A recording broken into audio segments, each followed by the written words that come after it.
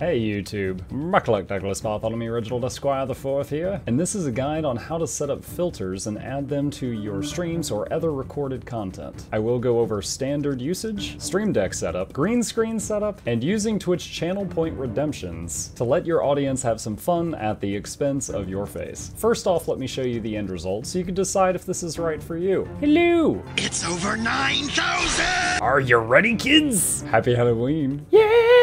And many more. Here we go. Timestamps are in the description down below if you'd like to skip around to exactly what it is that you need. First, download Snap Camera. Go to snapcamera.snapchat.com and download the program. The URL is in the description down below if you'd like to copy paste. Once downloaded, click the gear at the top right hand corner and then choose your camera and resolution. If you plan on using a green screen, go ahead and click the Optimize for Green Screen button further down on the same page. Also, scrolling down even further, in the hotkeys, look for the Trigger Lens Effect hotkey, and be sure to set that to something. There are some lenses that have a special effect that kicks in when you press a certain key, and you want to bind that key to something so that you know what it is. Mine is Alt 1, you can use whatever you need. An example of this is the power up filter. Every time that you use the key, in my case Alt 1, it gets more intense, as you can see here. Now, this part is for streamers. Make sure Snap Camera is open first, and then open your streaming software. Usually that's Stream Elements or Streamlabs OBS. In Stream Elements OBS Studio, go to the desired scene and add a source. You're gonna wanna add a video capture device, but instead of choosing your exact camera, such as your Logitech webcam, you would instead choose Snap Camera for the source. So now your webcam is going to snap and snap is going to your stream software in place of the webcam. For OBS Studio with the usage of a green screen, after you've added snap camera, right click on it and go to filters. Here you can see a little bit of a wider shot and you can see my messy room in the background. Don't look at that. my green screen is behind me, which I've already filtered out with the chroma key. This is where you would add your chroma key. Note, a few filters will look strange because of the green screen. For example, this dancing eggplant. It looks fine in the snap camera, but because of my green screen, you can see down here at the bottom left, the top is transparent because it's green. Now, there are still hundreds of filters on here that work just fine with green screen. So, so don't fret, you'll just have to ignore the ones that have a lot of green in them if you are a green screen user like myself. Now for Streamlabs OBS, aka Slobs, we are going to pick the scene that we want to add the camera to, go over here and add a source, and add a video capture device. And for the device in question, you are of course going to choose Snap Camera. Once Snap Camera is added, if you are a green screen plus Streamlabs OBS user, right click on Video Capture Device, go to Filters. Here you can set your chroma key. Once again, in the wider shot, you can see the background right behind me is hidden because of the chroma key, and you can see my messy study on the edges past the side of it. Stop looking at that! Now we're going to find some filters that we like in here and bookmark them so that we can use them on demand. Simply browse through here. You can just keep scrolling and scrolling and scrolling, or you can search by category, or try to search up here for something that you have in mind. This button right here shows you the most recent ones you use. So if you use something recently, you really liked it, but you forgot to bookmark it, you can click on that. And here's a bunch of the ones that I've tested recently or ones that I often use. Once you find something that you like to use, you just mouse over it and you click the little star up here to fill it in. What that does is it moves it up here to the favorites list. By clicking on the star at the top left hand corner, that opens up the favorites bar, and it has every single filter that you have clicked the star on. And if you change your mind, you can just undo the star and it will disappear.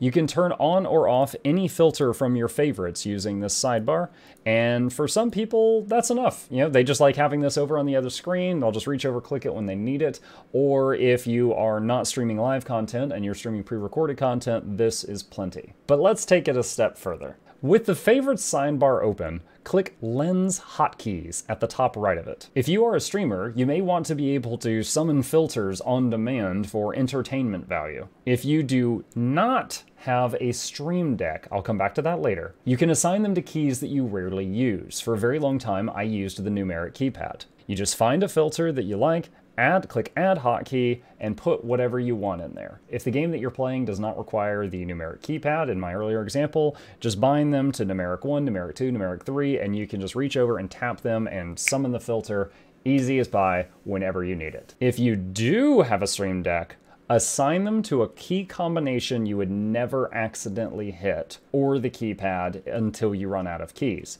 You can see here for many of mine, I've got Alt Numpad 1, Control Numpad 3, and all kinds of crazy key combinations I'm never going to accidentally press and I'll show you why. Now, here is my Stream Deck sitting on my desk in the camera shot, and here is the Stream Deck software on the screen. If you're unfamiliar with Stream Decks, don't worry about this, you can just skip ahead. If you use one, take note, this might be useful information for you. Now, on the Stream Deck, make a key on the deck that hits that odd key combination that you set up earlier. For example, Control Numpad 6 was the hotkey for the power up filter. Add a little title to it if you fancy it. I like to take a screenshot of my myself with the filter and put it there so I could see at a glance exactly which key does what. Now with that done, I can turn the filters on and off by simply clicking the key on the Stream Deck. Just make sure that your odd key combination does not interfere with whatever program you're running or streaming. Just test it when you aren't live, open up the program, hit your key that it will simulate control numpad 6 or whatever it was that you did, and make sure it doesn't mess with anything in the program before you go live and have a weird mishap. The Snap Camera extension. If you stream to Twitch and you wish to do so, you can set it up that Snap will automatically put a filter on your face when someone subscribes to your channel. Just an extra fun thing. I myself don't use it for this feature, but let's go over how to do it in case you want to do so. Click the little Twitch icon at the top right hand corner. That will open up this screen, hit open Twitch, and it says the Snap Camera extension is now installed. Open Snap Camera to play with lenses. Now let's see exactly what that did. Now I'm going to open up the Stream Manager and go to the extensions button over here on the left hand side, and you'll see that Snap Camera is now set as one of my components. You can click the little cog to make sure the setup is complete. Then you can head back to the Snap Camera program